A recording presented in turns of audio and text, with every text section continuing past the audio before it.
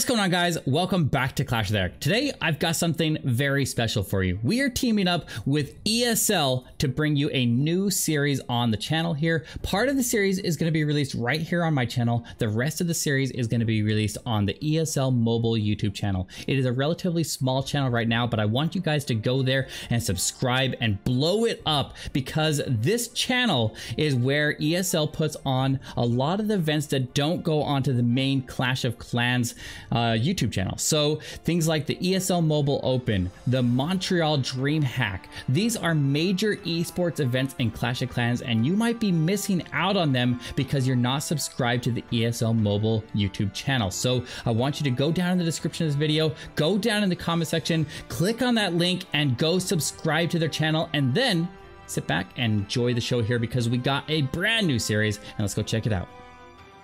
What's going on guys? I'm your host today, Clash with Eric, and today we're checking out Gaku from the Queen Walkers. Gaku, during the World Championship qualifiers in Poland, went 4 out of 5 triples and took his team into the World Championship, giving them that golden ticket to Hamburg, Germany, and going to play for their share of that $1 million prize pool. And you guys can go check that out too. So if you go onto the ESL website, you'll be able to buy your tickets now and go to that event. I hope I'll see you there, but let's let's go check out Gaku and see how he brought down this base.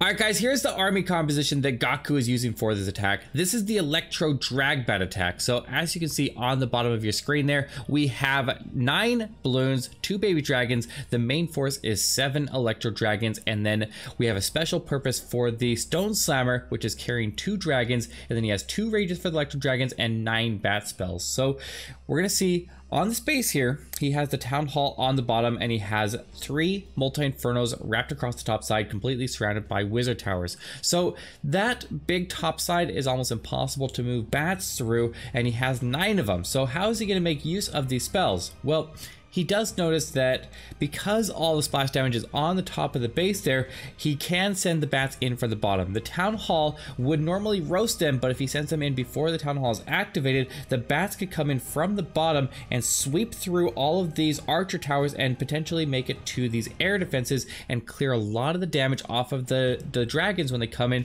later and not make those dragons have to go through the Town Hall. We can then send them somewhere else and we can send the Stone Slammer through the Town Hall. So he's thinking that the E-Drags will come in from the top side here and come in right here. So he needs to form a funnel there. So he's going to throw an Electro Dragon up in the top corner up here, and then he'll throw his King to walk this edge and clear all the trash here. And then he just has to worry about this air defense right over here. So if he can take down this air defense, then he will be in good shape and the dragons will be able to sweep through to the core and be able to take it down. So he's going to send in his queen to go in and snipe off this air defense right there and get as much as this side of the funnel as she can get. So that's the basic idea of the attack and we'll see it play out here and see how Gaku brings down this base.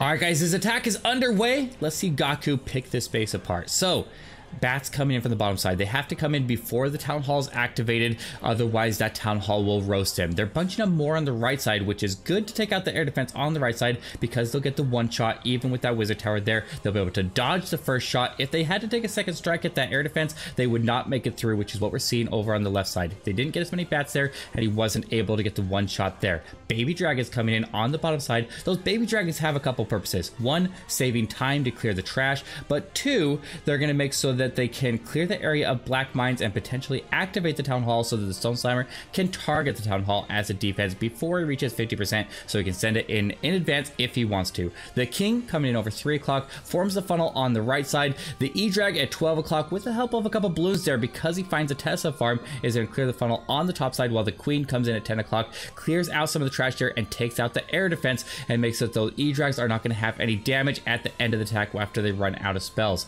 So in comes the main push here. Balloons out in front there are going to make so that he has a little bit of trap coverage as he surges forward here. And those balloons are going to protect those dragons from black mines. There's a bunch going off in the core of the base there. And now the E-Drags can step up into the middle and he's going to get a last rage on them. The raged E-Drags do better than regular dragons and they're going to get chains deep into the base there. Try to take down that air defense that was left behind, but he's got to get the chains to it through that expo. When you go through high hit point structures with those chains, you can get get a couple strikes off and take out buildings that are far beyond those E-Drag's reach, and that is where their strength is. So now, just a couple defensive structures left, but plenty of E-Drags because he was able to conserve their health as they push through. He's going to be able to bring it down. So beautiful attack by Gaku here, thinking outside the box and bringing this space down with style and securing Queen Walker's position for the World Championship in Germany. So if you want to see more of the Queen Walkers in action, then make sure you get your tickets for Hamburg, Germany in October. Tickets are on sale now, so get them and I'll see you guys there.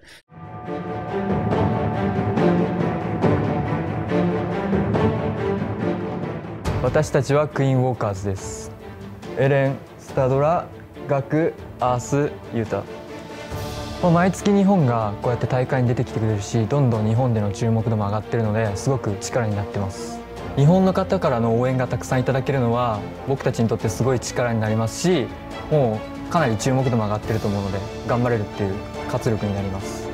前回参加して、えー、緊張とかもしてたんですけど、まあ、自信あった通り、まあ、優勝はできなかったんですけど準優勝という形で終われたんで、まあ、今回もうその前回の経験を生かして優勝できると確信しています。